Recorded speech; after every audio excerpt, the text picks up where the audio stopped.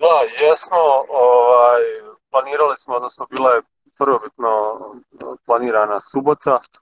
pa smo dobili nominaciju za nedjelju, tako da se mi spremamo za tu utakmicu standardno. Danas je trenažni proces u punom pogonu, tako da ćemo mi u skladu sa dostavljenim informacijama i ovaj nominacijom utakmice putovati na utakmicu i igrati.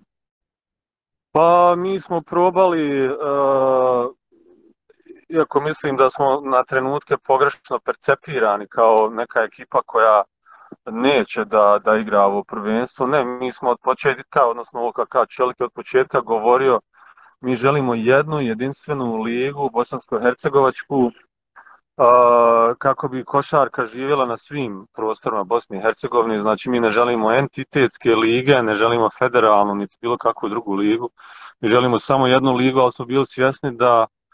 uzmajući obzir te nepoznance koje nam se na neki način serviraju sa, sa, sa vrha iz Krovnog saveza, mi jednostavno ne znamo šta nas čeka.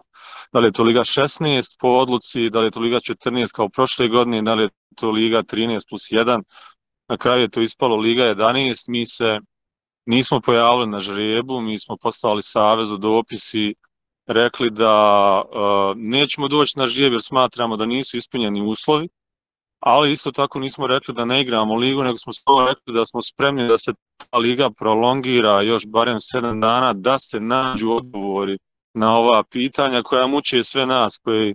tu košarku zbilja volimo i cijenimo od malih nogu i tako će biti čitav život. Ali je činjenica da evo i sad opet dolazimo u situaciju da postoje uh, informacije da se neće igrati, odnosno da određene ekipe i delegati lica neće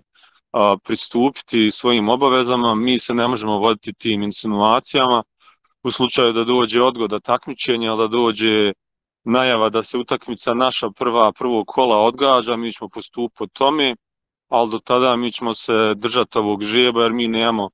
nikakve rezervne opcije, ne želimo rezervnu opciju da igramo neku drugu ligu pored ove koju, koju imamo.